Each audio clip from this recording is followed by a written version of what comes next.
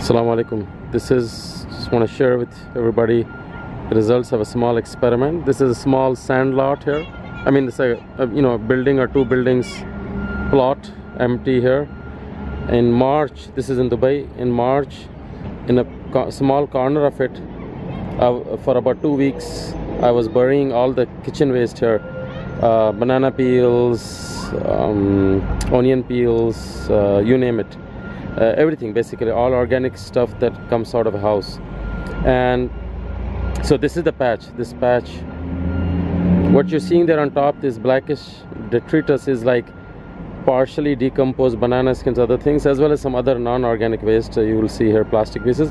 But what's interesting is if you if we look here deep uh, closer in this patch um, there are little plants growing here. You see one here uh, one here now depending on the zoom level you may not see all of them but you see a plant here two tiny plants slightly bigger one one back here um, one back here slightly smaller one um,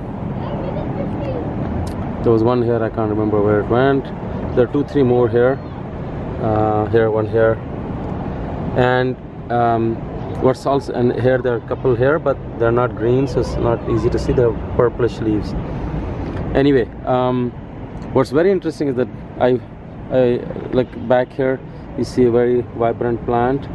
Um, the, the sand here just easily blows away. So even if a seed grows a little bit it will not take root for long because it will just get uh, other you know the, the sand or when the wind comes it gets blown away as well as will it get enough moisture. My theory is that all the organic stuff that i've buried here um, buried it only let's say about two three centimeters deep. Is holding the soil together one as well as is serving as a water bank. Organic stuff is great great for trapping water eh, which has enabled these plants to take root and to actually grow. And i walked all over this uh, plot. We are right now in early january so it's been about nine months since i did bury these uh, organic stuff. I walked all over this plot. It's about uh, 60 meters or almost 100 meter by a 50 meter plot. As i said two buildings or one building worth of plot. And in no place in any corner of this plot these plants are growing except the place where about nine months ago i buried a whole bunch of organic stuff.